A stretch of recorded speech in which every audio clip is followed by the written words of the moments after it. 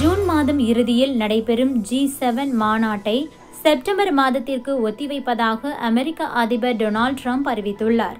G seven நாடுகள் அமைப்பில் மிகப்பெரிய பொருளாதாரத்தை கொண்ட வளர்ச்சி அடைந்த நாடுகளான France Germany Italy Japan America Britain Canada ஆகிய நாடுகள் இடம்பெற்றுள்ளன.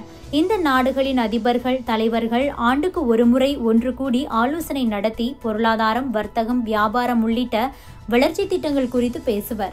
இந்த மாநாட்டை இந்த அமைப்பில் உள்ள உறுப்பு நாடுகள் மாறி மாறி நடத்தும். அந்த வகையில் இந்த ஆண்டுக்கான மாநாட்டை அமெரிக்கா நடத்த வேண்டும். இந்த மாநாடுகள் ஜூன் மாதம் பத்து முதல் பனிரெண்டாம் தேதி வரை அமெரிக்காவில் நடத்த முடிவு செய்யப்பட்டது. ஆனால் ஆனால் கொரோனா வைரஸ் காரணமாக உலக நாடுகள் கடுமையாக பாதிக்கப்பட்டுள்ள நிலையில் இந்த மாநாட்டை ஒத்திவைப்பதாக அதிபர் ட்ரம்ப் அறிவித்தார்.